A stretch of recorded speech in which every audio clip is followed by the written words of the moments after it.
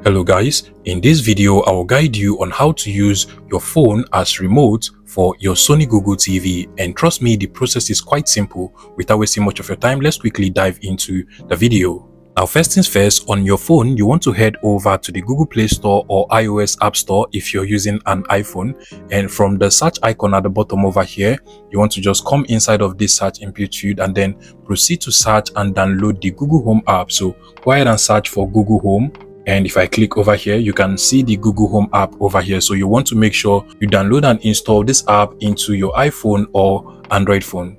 Now, once you have the Google Home app on your iPhone or Android phone, you want to go ahead and open it up directly from here. And the setup process for this application is quite simple. You just have to give the app all of the permission it requires and follow the on-screen instructions. So click on the get started button at the bottom over here, click on next, click on allow. If you do not already have your Google account, you might also be required to sign into your Google account. So sign into your Google account with your Gmail and then click on the OK button over here. If you're asked to turn on your Bluetooth, also make sure your Bluetooth is turned on as well. That is basically all you have to do. The app is now fully set up. Now, this is exactly how the homepage of the application looks like. But before we proceed to turn our phone into a remote for the Sony Google TV over here, you want to make sure that both your phone and your Sony Google TV are connected to the same Wi-Fi or hotspot network. If you do not have your Sony Google TV remote control to connect it to Wi-Fi, you don't have to worry. I have a separate tutorial on how to connect any TV to Wi-Fi without the remote control. I'm going to be leaving a link to that video in the description of this video. Once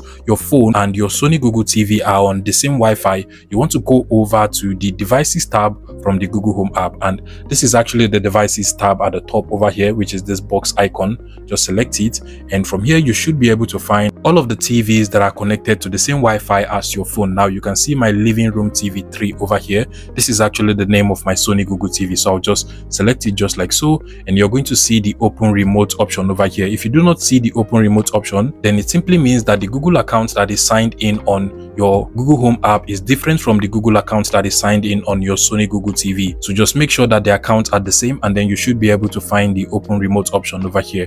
Select it once you have it. And now you have to enter this code on your Sony Google TV inside of this MP3. I'll go ahead and enter mine. Once you're done, just click on the pair button now automatically we now have this nice looking remote control that you can use to navigate through your Sony Google TV without any problem. Also, if you do not like the layout of this particular remote control, you can as well just click on the three line icon at the top over here, click on D-pad, and now you have another style of remote control that you can still use to navigate through your Sony Google TV. If you find this video useful, please make sure you smash that like button and subscribe to this YouTube channel, guys.